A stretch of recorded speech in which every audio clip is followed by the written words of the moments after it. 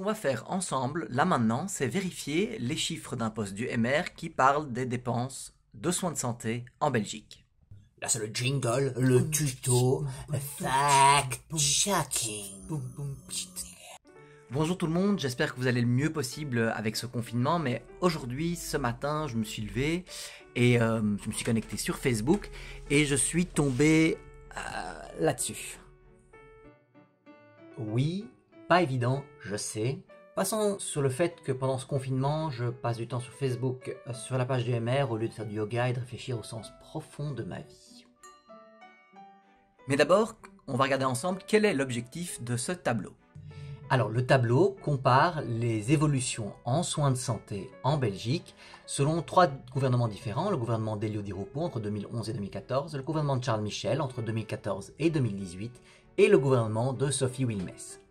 Alors, ce que montre le, tableau, c'est les dépenses, les évolutions en taux de croissance réel des dépenses en soins de santé d'année en année pour chacun de ces gouvernements. Et qu'est-ce qu'il suggère, ce tableau? Le tableau suggère que les dépenses en soins de santé euh, augmentent au fur et à mesure du temps sur les trois gouvernements. Donc le gouvernement de Rupo a dépensé 2,2%, 1,9% d'une année à l'autre en plus. Et puis on remarque que les chiffres pour Charles Michel sont plus élevés à 3,4, 3,1, 3,4 et le gouvernement Wilmès, on est à près de 6%. Donc le tableau suggère ouvertement que les dépenses en soins de santé augmentent euh, avec le temps sur les trois derniers gouvernements.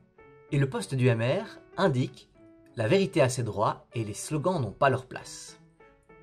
Et puisque la vérité a ses droits, la première étape, c'est d'aller chercher les chiffres sur Internet. Du coup, je vais sur le site du SPF Sécurité Sociale, ici, et je télécharge les données liées aux soins de santé sur les dernières années. Problème. Lorsque j'ouvre le fichier du SPF, euh, je n'ai que les années entre 1998 et 2016, du coup il me manque les dernières années. Euh, la solution, c'est simplement d'aller sur le site de la Cour des comptes et de télécharger le dernier rapport euh, sur la sécurité sociale. Et du coup, miracle à la page 28, j'ai les chiffres des années 2017 et 2018. Second problème, lorsque j'ouvre le tableau Excel, je compare des chiffres avant et après une réforme de l'État. En plus de ça, ce sont des chiffres qui sont nominaux et donc je n'ai pas encore enlevé l'inflation pour que ce soit des chiffres réels. Du coup, la solution, c'est simplement d'enlever les compétences qui ont été transférées, par exemple les maisons de repos et de soins et la santé mentale, et puis d'aller chercher sur le site de Stadbell, ici, les chiffres de l'inflation et de l'indice des prix à la consommation. Et voilà. Résultat, j'ai pas les mêmes chiffres, du coup, regardons ensemble. Passons d'abord sur le fait que je n'ai pas les chiffres du gouvernement Wilmès ici. Euh, et donc du coup, voilà, je ne peux rien commenter. Par contre, lorsqu'on regarde les chiffres du MR ici en bleu et les nôtres en turquoise, la tendance est clairement, exactement l'inverse de celle des chiffres du MR. Les dépenses en soins de santé entre 1998 et 2018 augmentent de moins en moins vite avec le temps. On peut faire aussi la même analyse d'évolution des dépenses dans le secteur des soins infirmiers et des médicaments.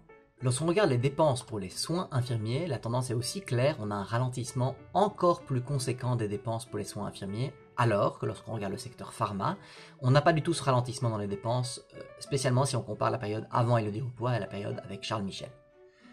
Alors que là, on assiste très nettement ces derniers mois à des demandes du secteur des soins de santé d'investir dans le personnel, notamment dans le personnel infirmier. Si les gens applaudissent tous les soirs à 20h, ce n'est pas un slogan, c'est un soutien. Basé sur un fait, les dépenses en soins de santé n'augmentent pas avec les besoins. Du coup, non seulement les soins de santé doivent être refinancés, mais c'est toute la sécurité sociale qui mérite d'être plus financée.